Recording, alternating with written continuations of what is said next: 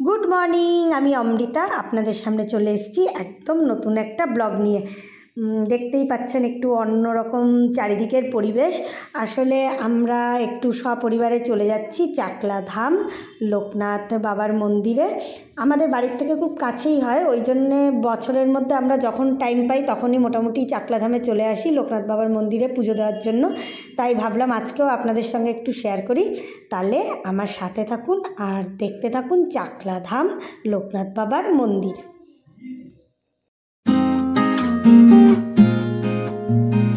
আমরা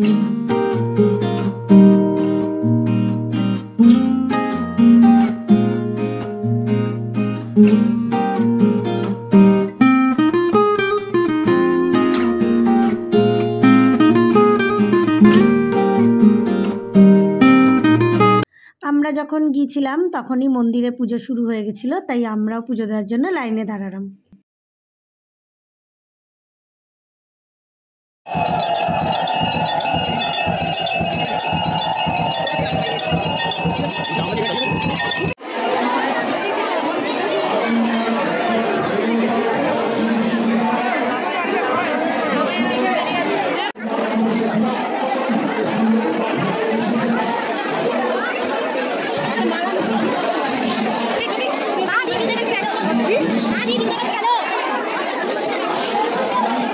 হ্যাঁ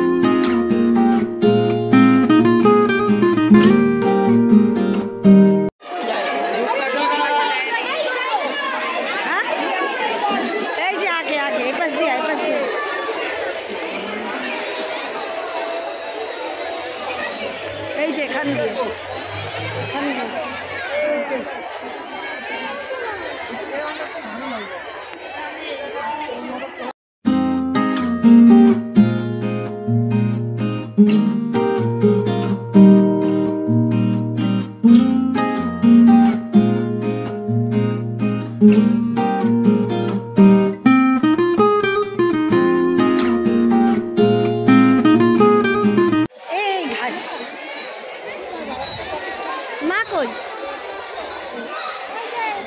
চল। এবার কোথায় যাচ্ছি? মেন মন্দিরে, তাই তো? এবার একটু বসি। ঘুরে ঘুরে দেখাই। অনেক দিন পরে আসলাম তো, পুরো একদম অন্যরকম লাগছে। অনেক কিছু চেঞ্জ হয়েছে। গত ক বছর আগে এসেছিলাম রে? চার পাঁচ বছর পরে আগে এসেছিলাম, আবার এতদিন পরে আসলাম। দাঁড়াও তোমাদের সাথে একটু শেয়ার করি। একদম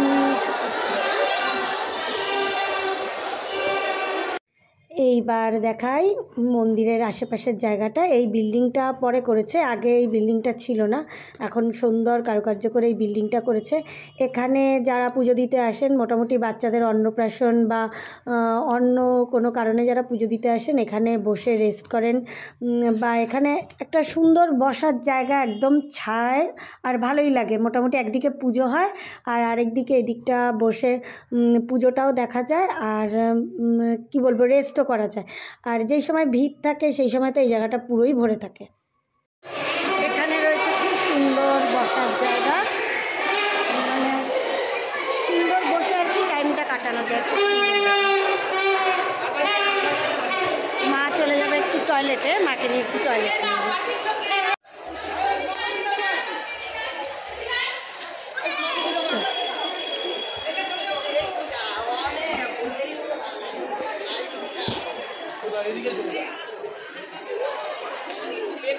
লাইন তো দিতেই হবে লাইন না দিলে কি করে হবে?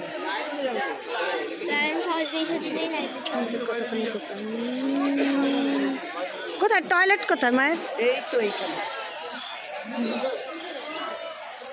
যাও তাহলে খালি পায়ে যাবে? কি করব?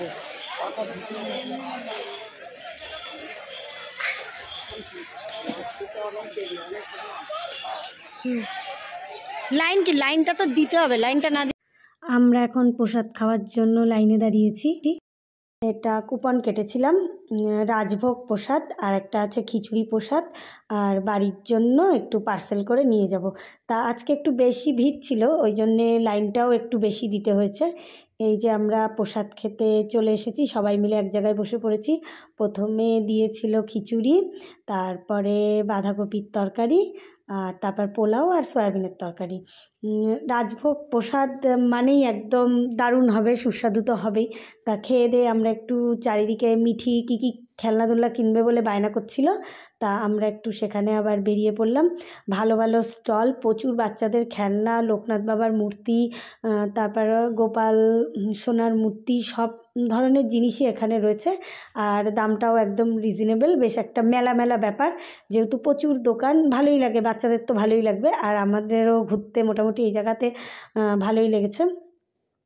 এখানে গ্রামের সবজি প্রচুর পরিমাণে পাওয়া যায়। সেখানেও আমরা একটু চলে যাব কারণ ওই সবজিগুলো একটু আমাদের সাধারণ মার্কেটের থেকে একটু দামে কম পড়ে। কিন্তু সব কিছু একবারে নিয়ে ওঠা সম্ভব হচ্ছিল না কারণ আমি তো একাই আর এত কিছু টেনে নিয়ে যাওয়ার মতো লোকও সেরকম ছিল না।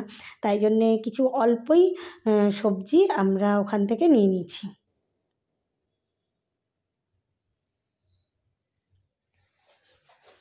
এই যে চলে আসলাম যেখানে সবজি নিয়ে বসে সেখানে। এখানে একদম গ্রামের টাটকা টাটকা সবজি, সব রকম জিনিস রয়েছে। তা সব কিছু দেখার পরে আমি যেটা সবচেয়ে বেশি ভালোবাসি সেটা হচ্ছে ফুলকপি। তা সেটার দিকে এগিয়ে যাচ্ছিলাম। তখন একটা বাচ্চা ছেলে মানে আমার মিঠির থেকেও ছোটো, সে একটা পেঁপে নিয়ে এসে বলল, একটা নিয়ে নাও না, মাত্র দশ টাকা দাম।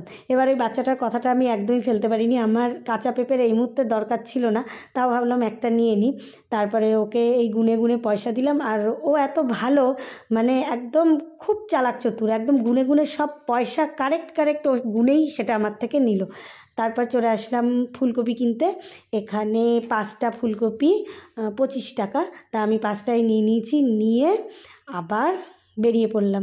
এবার আরেকটু এগোতেই মা তো বেশি হাঁটতে পারছে না, বেশি হাঁটতেও পারে না, এখন মায়ের কষ্ট হয়, সেজন্য আর বেশিক্ষণ দাঁড়ালাম মনে হয় আর একটু ভিড়ও বেড়েছিল। হঠাৎ এই পুতুলগুলোর দিকে চোখ পড়ল। মা যেহেতু নতুন বাড়িঘর রং করেছে, তাই ভাবলাম একটু পুতুল নিয়ে নিই ঘরে রাখলে দেখতে খুব ভালো লাগবে। এই পুতুলগুলো আমার কাছে তিনটে, তিনশো টাকা নিল মানে একশো টাকা করে। তা আমি এটা নিয়ে নিয়েছি, আমার খুব ভালো লেগেছে।